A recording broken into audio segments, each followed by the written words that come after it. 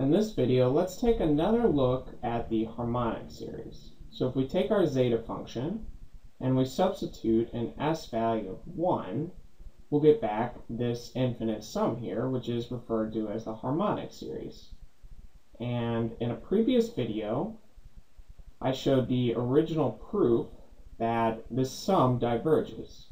Or in other words, as you add more and more of these terms, the sum will start to approach infinity.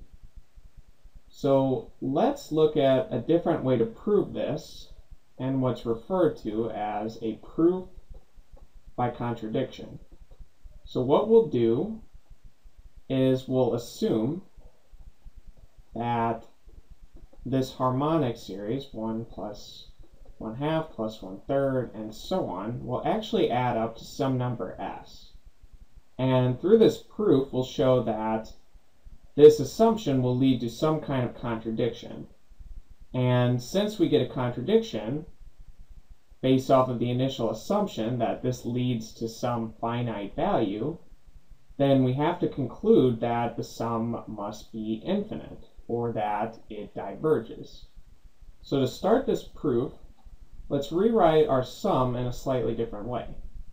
We have that 1 plus 1 third plus 1 fifth plus 1 seventh, and so on, plus 1 half plus 1 fourth plus 1 sixth, and so on, is equal to s. I've essentially just split it up into two separate sums where we have the odd terms here and the even terms here.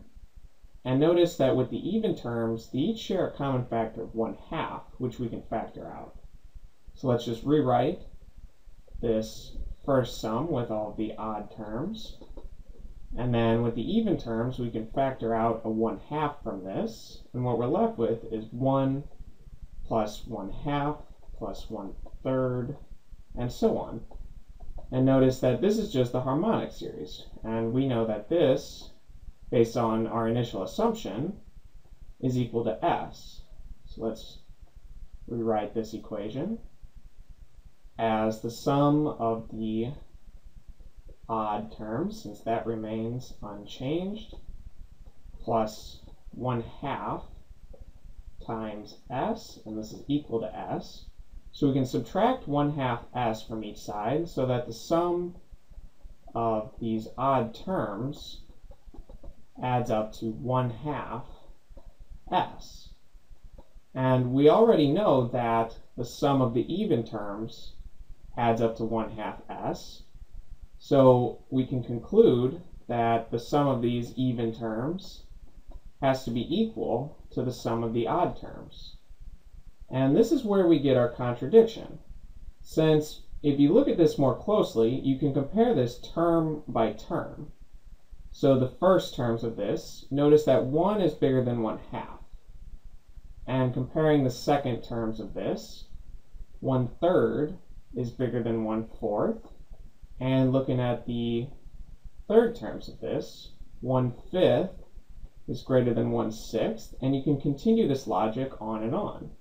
So comparing term by term, the terms on the left side are always bigger than the terms on the right side. So therefore, these two sums can't be equal to each other. And that's where the contradiction comes from. Since this doesn't make any sense, we can conclude that this initial assumption here must be wrong. And since this is wrong, that all of the terms in the harmonic series add up to some finite number, we have to conclude that the sum of this diverges.